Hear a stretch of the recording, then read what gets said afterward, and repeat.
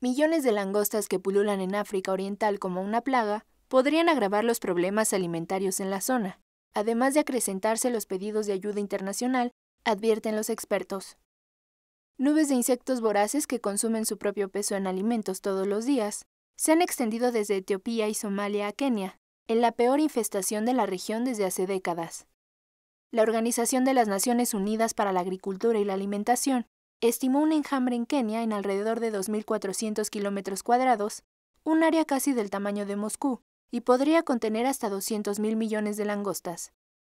La víspera, la FAO anunció que esta invasión, la peor en 70 años, está amenazando la seguridad alimentaria y han pedido el apoyo internacional particularmente porque en las próximas semanas la situación podría ser peor.